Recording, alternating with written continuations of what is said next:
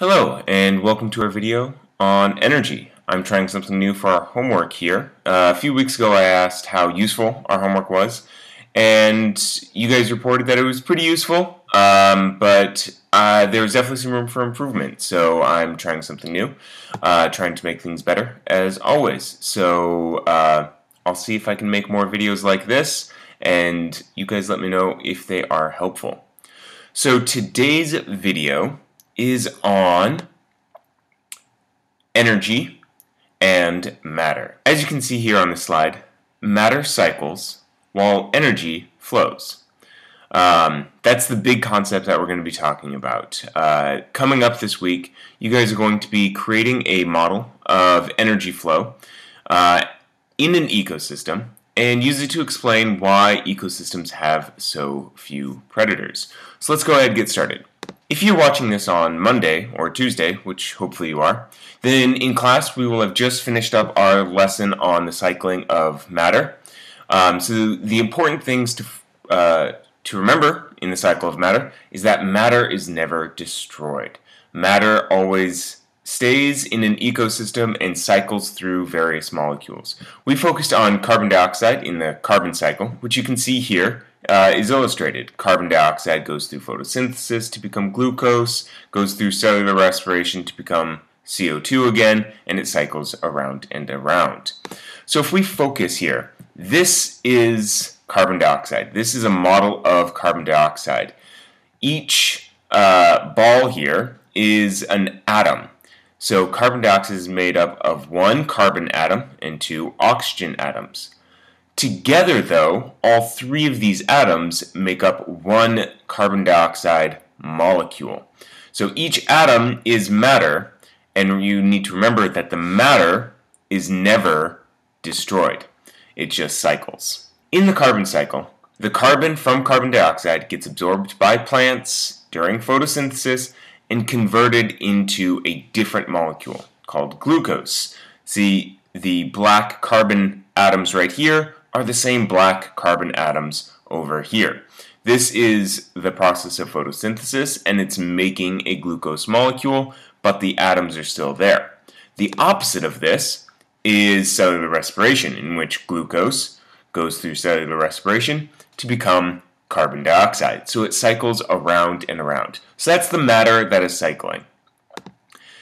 However, in this lesson, we're going to be focusing more on energy now, energy is anything that can do work. That's how it's defined.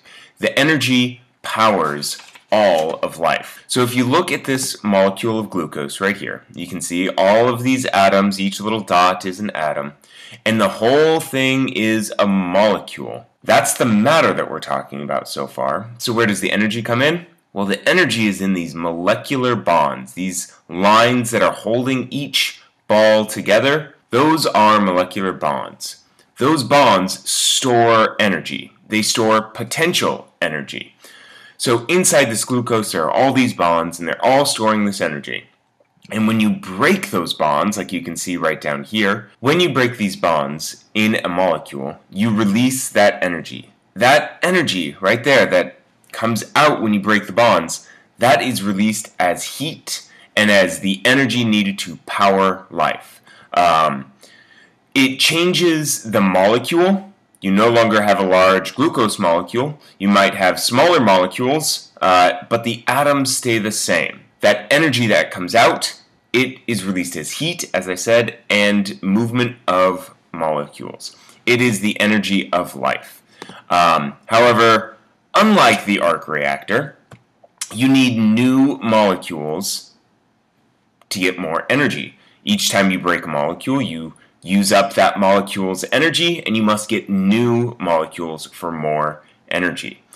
Humans, we do that by eating. We eat to get molecules for energy, and we also eat to get some molecules, some matter, to build up our bodies.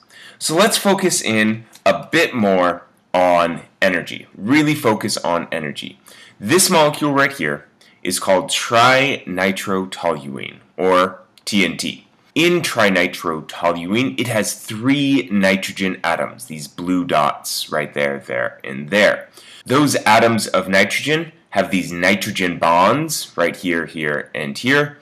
And those bonds are really, really strong. When you break those bonds in TNT, you make a very big reaction, which you can see in this video right here.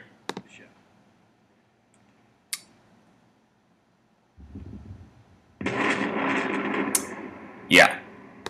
So that is uh, breaking uh, a molecule of trinitrotoluene, or lots of molecules of TNT. And you can see that the energy from that reaction is released as heat, it's released as light, it's released as sound, and it's released as the movement of the molecules. So that energy that's coming out is coming from the breaking of bonds. In life, we don't want to have a huge explosion like this.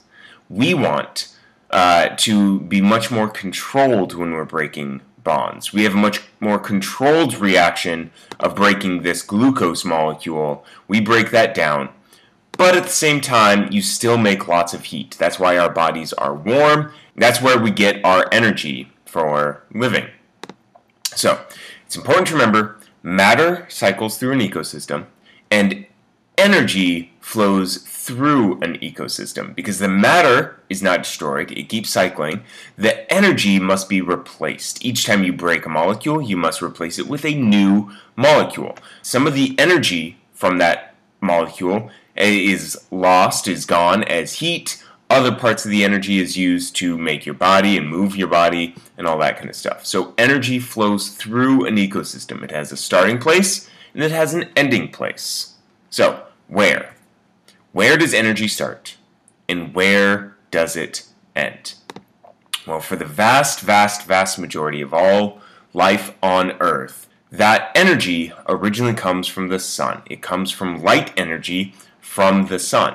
Now, plants are amazing creatures. They have this ability, they have this. Um, this chloroplast, this structure inside their leaves that allows light to hit these molecules and it actually changes uh, they can capture that energy and change molecules uh, into glucose. They actually take carbon dioxide, they take six of these, as well as some water, as you can see way down there, and they use the energy to store that energy inside all of these tiny little bonds in the glucose molecule.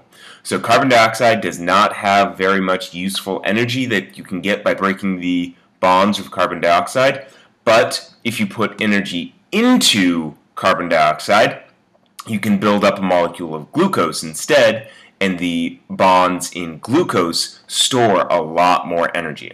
All that energy is the energy that plants use to grow. Plants make sugar, glucose, and they use that sugar for themselves. They make it for themselves. Plants use it to grow, to build their bodies, and, of course, some is lost as heat.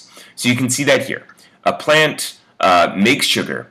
If this bar down here represents all of the energy that is being stored or captured by a plant, um, you can see what is that energy used for. Some of it is used for heat. Some of it is used for living actions like growing and pumping water up from their roots and making apples and that sort of thing. And the other part uh, of that energy is used to actually build up their body. They use that sugar to grow, to get bigger. It's the physical matter. However, if a plant gets eaten by, say, a cow, this little guy right here, this cow, this herbivore, can't get the energy that's been lost as heat. It can't get the energy that's been already used by the plants for all of its living actions. It can only get the molecules that are in the bodies of the plant. So they have much less energy. This cow has much less energy available to it than the plant did. And the cow, the herbivore, also uses some of that energy released as heat some of that energy is used to uh, power their life so they can moo and walk around and sleep, and some of their energy is used to actually make the body of the cow itself. So even though the they might eat a lot more plants, their bodies are going to be smaller than their sum total of how much they've eaten. And then if some other organism comes around and eats the cow, like this tiger, the tiger also, this carnivore, also has that same effect. Some, they can only eat the body of the cow. They can't eat the energy that's used for life, and they can't eat the energy that's been lost as heat. So they can only use this portion from here to here. They can only use that range for their cell, for themselves. So some of that energy themselves lost as heat. Some of that energy is used for their own life actions to run around and climb and have babies, and only a tiny portion is used up for their body. So you can see that a plant has a lot of energy, and then the herbivores have much less and carnivores even less than that. The majority of that energy is being lost as heat, um, being lost to provide the actions of the molecules, and only a tiny portion is left over to fill in the bodies. What ecologists call this is the 10% rule, or the rule of 10%. And it says that even though there might be a lot of sunlight, the plants are only going to get some of that sunlight and actually make it into their bodies. And then the primary consumers, the ones that eat plants, are only going to get 10% of that energy from the plants. The uh, secondary consumers would only get 1% of the energy of the plants. And anything that eats a secondary consumer would get 0.1% of the energy of the plants originally.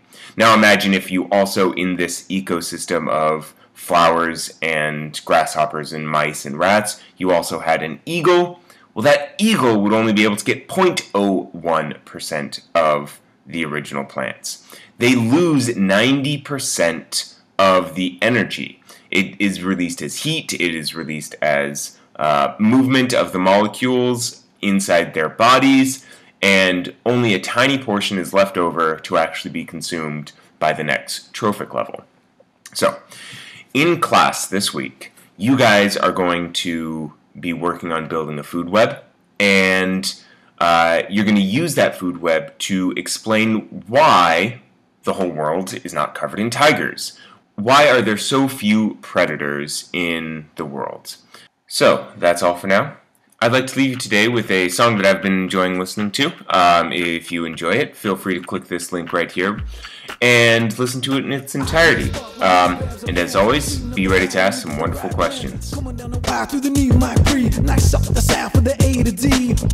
Ramos, they can win all. Big up from Bob and a TV dinner.